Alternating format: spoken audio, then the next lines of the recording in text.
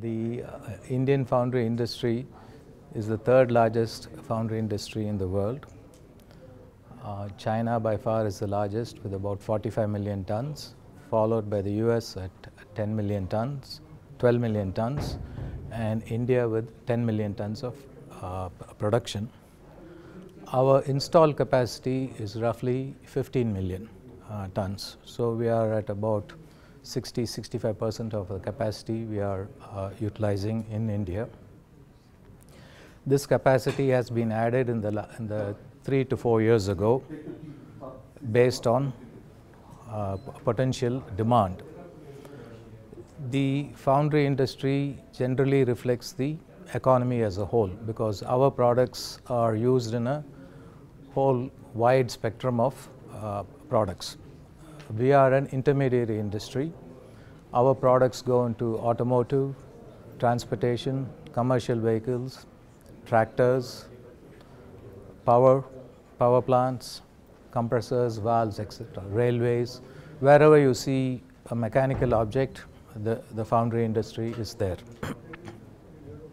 the foundry industry has added this capacity in the last few years and of course for reasons all well known, the, the requirement has not picked up. With the present government of India's uh, emphasis on uh, make in India and manufacturing in India, uh, we in the industry are here with cautious optimism. We are seeing some green shoots in specific industries like uh, automotive and commercial vehicles. Hopefully with the push on the infrastructure spending, the other industry, the other customers or our end users, their demand will also pick up.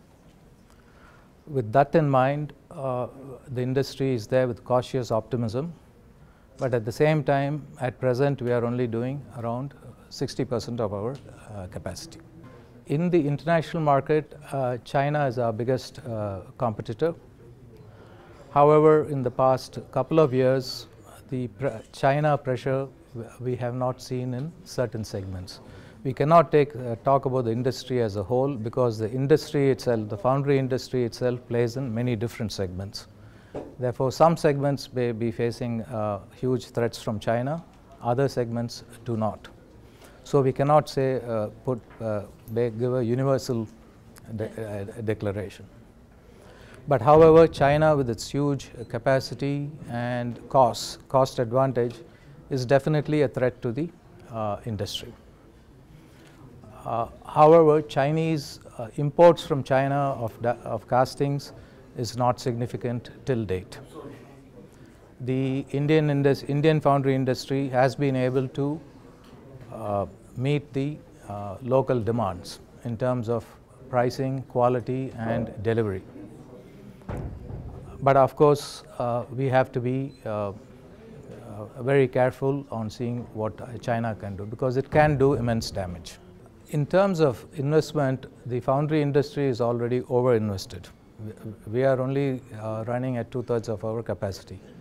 One third of our capacity is still uh, available. But once that uh, capacity is uh, used up, then as per the government projections, the foundry industry needs to again double its capacity and in order to double the capacity a lot of capital is required as well as a long gestation period. Uh, this call should be will be taken by the foundry industry in maybe 12 to 18 months seeing how the uh, growth trends are and the existing capacity is used. The challenges we face, foundry industry face is I think as common as any manufacturing industry in India.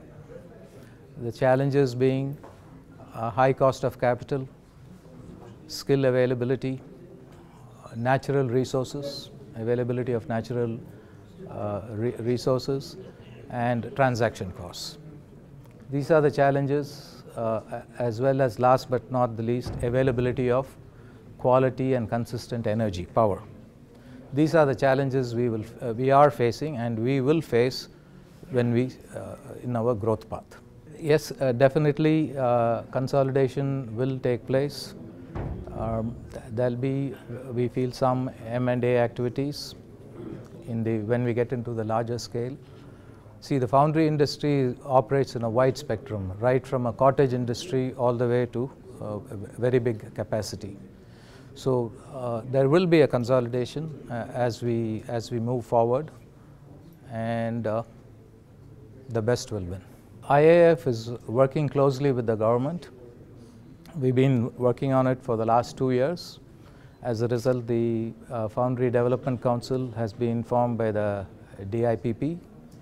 They have recognized us as the mother industry, IIF. We are working with the government on the skill development uh, program as well as certain other initiatives we have taken with the government, we are beginning to see some fruit.